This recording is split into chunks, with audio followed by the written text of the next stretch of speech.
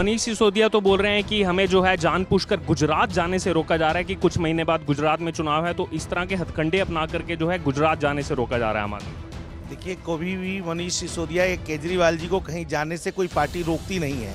आज उनकी चोरी पकड़ी गई है तो गुजरात जाने से मना कर रहे हैं, कल को बॉम्बे जाने से मना कर रहे हैं।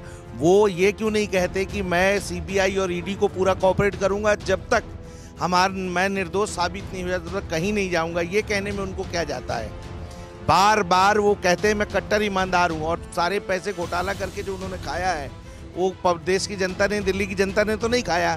मनीष सिसोदिया और केजरीवाल सरकार ने ही खाया है। अरविंद केजरीवाल की तरफ़ से ये कहा जा रहा है कि जो है जब हम सुबह उठते हैं उस समय खबरें देखते हैं कभी ईडी कभी सीबीआई आम आदमी पार्टी के पीछे लगी हुई है तो ये क्या जानबूझकर किया जा रहा है बीजेपी ये जानबूझकर नहीं किया जा रहा। ये इन्होंने करा है। इन्हें मालूम था पहले से ही, इतना भ्रष्टाचार करा रहे एक कंपनी के 1400 1400 करोड़ रुपए इन्होंने डुबवा दिए। अपने लालच में सारा पैसा पंजाब चुनाव में इन्होंने लगाया। और इन्हें चार महीने पहले से ही पता लग जाता है कि हमें गिरफ्तारी होगी।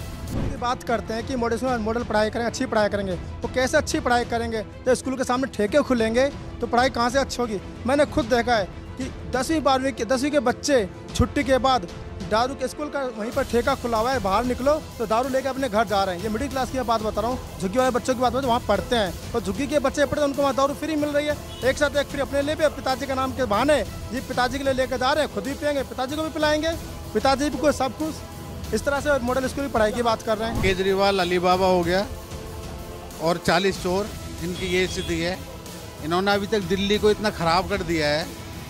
ईडी और सीबीआई जब गलत काम करो तो ईडी सीबीआई जाएगी इनके पास। अभी तो केजरीवाल एक एक करके अपने उनको भेज रहा है। लास्ट में अपने आप भाग जाएगा फिर बालक कहीं दूर जाके। चोर है, चोर तो पकड़े जाएँगे। अगर वो ईमानदार होते तो क्यों पकड़े जाते? क्यों ईडी जाती? क्यों सीबीआई जाती?